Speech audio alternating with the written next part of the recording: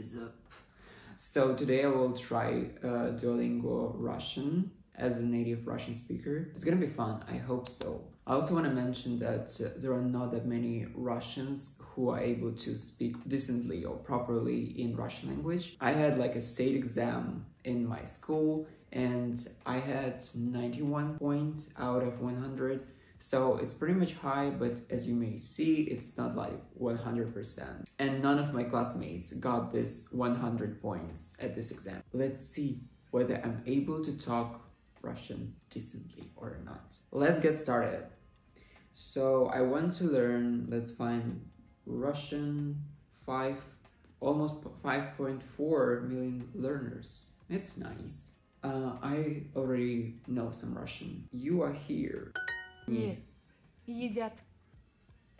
Яблоки. Яблоки на шахтер не едят. Fun fact about Russian is that we could use different word order in a sentence and it will have the same sense. So that's why sometimes for Russian it's kind of hard to learn English even though it's more logical because you have a word order. But in Russian it barely exists. And uh, in this like app in Duolingo, most of the time they're making the sentences which are okay for beginners to understand that yes, this is the word order. For example, in this case, наши актеры не едят яблоки. We could also say актеры наши яблоки не едят. Не едят яблоки наши актеры. But it will still have the same sense. Anyway, nicely done, of course. Иван хочет знать, где Анна. Okay, barely can imagine such situation or sentence in uh, Russian because we don't use uh, like full name. Oh, how to say no? That's like full name, but it's so your name that is written in the passport. But if you're like my bro or friend, I would never say your name is Ivan. I would say Vanya. It's more like Jack or Jackie, or like my name is, uh, for example, Daniel, or and I would say Denny. Mm. Um. Кань. Декабря. Is it like cheating or something? Okay, начало декабря. Mm. У моего брата есть хорошая куртка.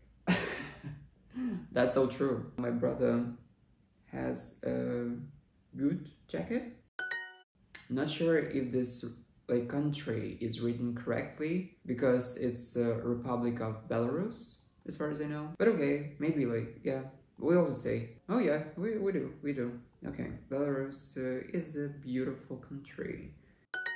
Again, you see like this is some sort of inversion and it sounds more natural in Russian if we say on this street there is an old wooden house. But I guess it's not possible in English to say so. I mean, it's not right We actually have names for those days, like the day before yesterday. It doesn't sound like it, it's just one word. it's so nice to use. And the same, as I find out, it was in Danish. So they also used uh, i overmorgen or uh, ifogas, which means ifogas means uh, the day before yesterday, or i overmorgen the next day after tomorrow. Take the cup, please. Возьми чашку, пожалуйста. In this case, this word it's uh, in English, it doesn't translate in Russian at all. It doesn't exist. We mean it, so we don't even pronounce it. The same as we are not pronouncing most of the time this verb uh, to be. Like, I'm here. We would just say, I here. And also put the box, the box. We don't have articles at all. So, a box, the box, also confusing thing for Russians. Okay, a student. Again, you know, a student. But here it's written just student, like literal. Ученик trans- ждет кого-то возле библиотеки. Good for you. Good for you. We don't use it. So, uh, but if you ask me, how can we be sure that we are talking about a precise person, like the person or a person, right? So in this case, we will use uh, in English it's this or these. Um, so it means этот, like this, this person or just person. Confusing.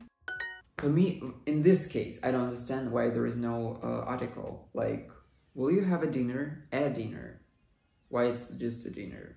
Mm. Я Я слышал. слышал. It's a gossip. Француза. Француза. Check. Они, Они. подпишут. Заключат. Заключат. We also say contract in Russian. My husband and I are moving to Serbia. Siberia, sorry, uh, in a month. Good for you. What? S. S. This is like a little trouble of the program because you would not say S. You would say S. S můžem, because it's not a letter S. Check. Okay, so we are on unit 31st out of 51. But I'm kind of curious, can I just jump to the last one? To prove that I'm the pro, the prime minister. Again, no article because in Russian. Confused, confused. Пусть продаст машину. I mean, I know what it means, but how to say пусть? Пусть in English, not sure. Should sell his car. I would say so. Nice. This word пусть should be not translated at all. How can you become proficient in a language if there are some words that cannot be translated? Doesn't make any sense.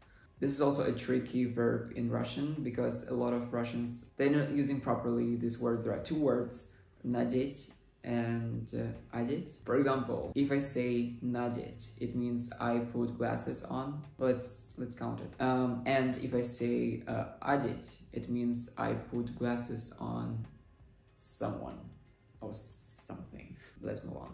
Каждое лето. But like also we could say uh, мама планирует приезжать в Россию каждое лето. So it's like literally to plan, планировать. Again, it's clear. We just say yes, no. And we just drop those it is.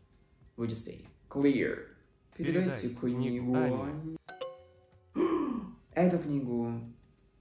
Sorry, sorry, I just didn't pay attention. Another confusion is that um, in Russian, uh, I asked Jenny, it's like, okay, it's fine, what she thinks. You would translate it like literally, you would translate it to Russian as she thinks, but not thought. We only have three times, I guess, like past, present, future in Russian, and that's it. Otherwise, could you imagine it will be even more complicated? Hmm.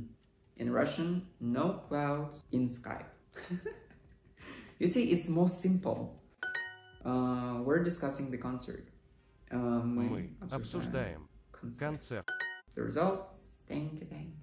So yeah, I guess we finished everything here that could be finished in Duolingo. My conclusion is that this app is pretty good for beginners who would like to learn some basic stuff, you know, like the ground of the language. But at the same time, if you would like to speak properly, very fluently, and stuff like that, you need to train your Russian with Russians. It's gonna be more efficient, as I guess with any other languages in the world.